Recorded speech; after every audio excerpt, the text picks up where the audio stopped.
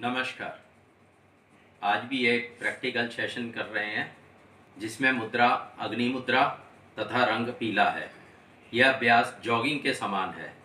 मांसपेशियों को थकाए बिना हृदय दर बढ़ जाती है, पाचन तंत्र मज़बूत होता है, तथा शरीर से व्यर्थ पदार्थों का निष्कासन होता है।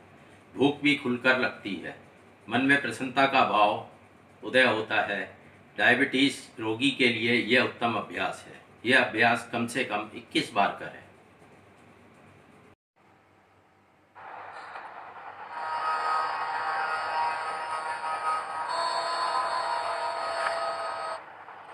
अपनी पीठ और गर्दन को सीधा रखते हुए आराम से बैठ जाएँ। अपनी अनामिका को अंगूठे के निचले हिस्से पर टिकाएँ और उसे अंगूठे से दबाएँ।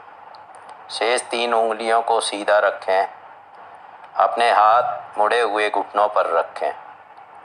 हथेलियों का मुँह ऊपर की ओर होना चाहिए। आँखों को सहज रूप से बंद करें। हथेली पर थोड़ा दबाव डालें और शेष हाथ को आराम की दशा में रहने दें। ध्यान रखें, अंगूठा अग्नि तत्व तथा अनामिका उंगली पृथ्वी तत्व। है धीरे धीरे सांस लें और कल्पना करें कि पेट के निचले हिस्से में सुनहरी पीली रंग की गैस गहनता से फैल रही है।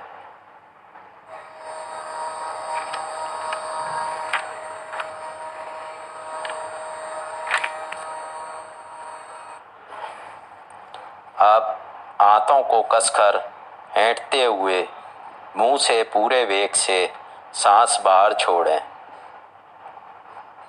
और महसूस करें कि शरीर के सभी व्यर्थ पदार्थ व काले विषैले तत्व बाहर निकल रहे हैं। अब आप आंतरिक प्रसन्नता प्रसन्नता का अनुभव करें।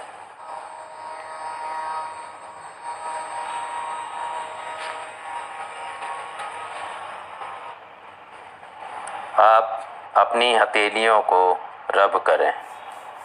हथेलियों को आँखों पर लगाएँ। हथेलियों को हटाएँ। धीरे धीरे आँखें खोलें। शरीर को सहज स्थिति में कर लें।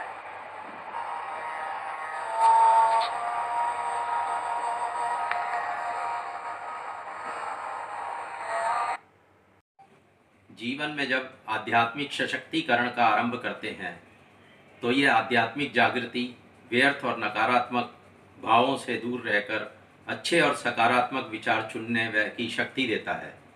यह एक जीवन शैली है और शरीर, मन व आत्मा की दवा भी है। इन आरामदायक अभ्यासों के द्वारा अपनी जीवन शैली व दृष्टिकोण में चमत्कारी परिवर्तन कर सकते हैं और एक प्रसन्न, स्वस्थ व समृद्ध जीवन जी सकते हैं। ये चर्चा यहीं समाप्त करते हैं। स्वस्थ रहें खुश रहें। धन्यवाद।